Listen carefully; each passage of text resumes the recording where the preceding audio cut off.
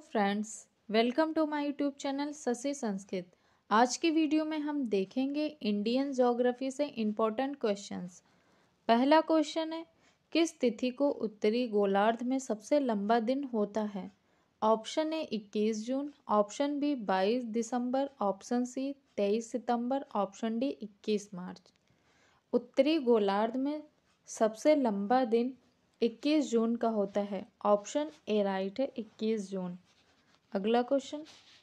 Question number second. पृथ्वी की धुरी है। ऑप्शन ए, झुकी हुई।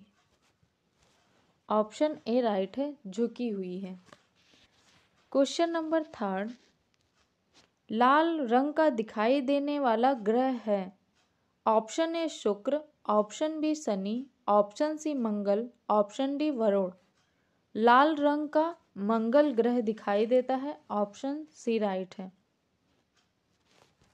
क्वेश्चन नंबर फोर, जिसमें पृथ्वी के अलावा अन्य जीवन की संभावना है, क्योंकि वहाँ पर पर्यावरण जीवन के लिए बहुत अनुकूल है। ऑप्शन ए, बृहस्पति, ऑप्शन बी, मंगल, option C, Europa, option D, चंद्रमा। ऑप्शन बी राइट है, मंगल ग्रह। क्वेश्चन नंबर फाइव सौर मंडल का सबसे छोटा उपग्रह कौन है। ऑप्शन बी राइट है डिमोस क्वेश्चन नंबर छ चंद्र ग्रहण का कारण है। किस कारण से चंद्र ग्रहण लगता है? ऑप्शन सी राइट है सूर्य एवं चंद्रमा के बीच पृथ्वी का आना। क्वेश्चन नंबर सेवन धरातल से भूगर्भ की ओर जाने पर गहराई के साथ तापमान वृद्धि की दर क्या है? ऑप्शन ए राइट है। वन डिग्री सेल्सियस प्रति एक सौ पैंसठ मीटर। अगला क्वेश्चन।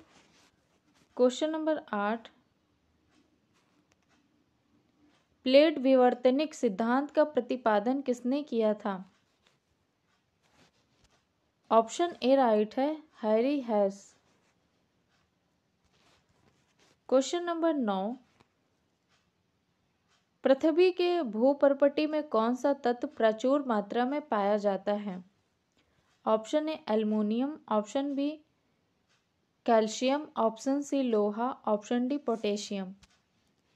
Option B right है एल्युमिनियम। क्वेश्चन नंबर दस।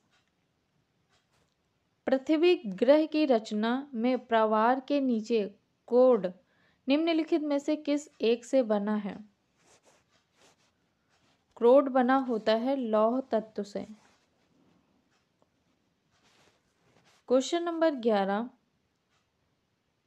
पृथ्वी ग्रह की संरचना में प्रवार के नीचे क्रोड निम्नलिखित में से किस एक से बना है? लॉ, ऑप्शन सी, राइट है। अगला क्वेश्चन। क्वेश्चन नंबर बारह।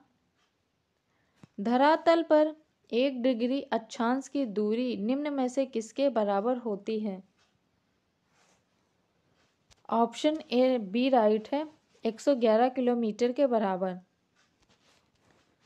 क्वेश्चन नंबर तेरह। वह काल्पनिक रेखा जो पृथ्वी को दो भागों में बांटती है, क्या कहलाती है? ऑप्शन ए राइट है, भूमध्य रेखा कहलाती है।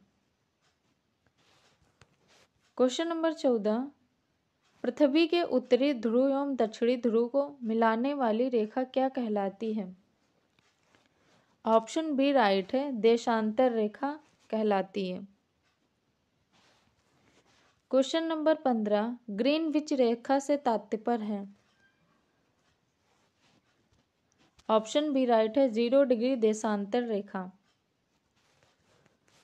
क्वेश्चन नंबर सोलह, दो स्थानों के देशांतरों में एक डिग्री का अंतर होने पर उनके समयों में कितना अंतर होगा?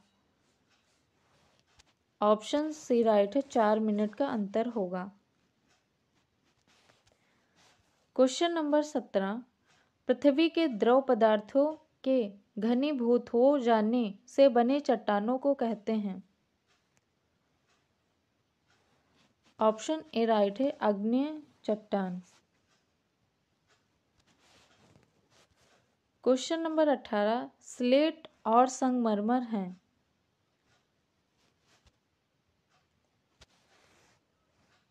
ऑप्शन सी राइट है। क्वेश्चन नंबर उन्नीस, भूकंप मूल वह स्थान होता है जहाँ? ऑप्शन भी राइट है, जहाँ से भूकंप की उत्पत्ति होती है। क्वेश्चन नंबर बीस, धरातल के जिस स्थान पर सर्वप्रथम भूकंप का अनुभव किया जाता है, वह कहलाता है।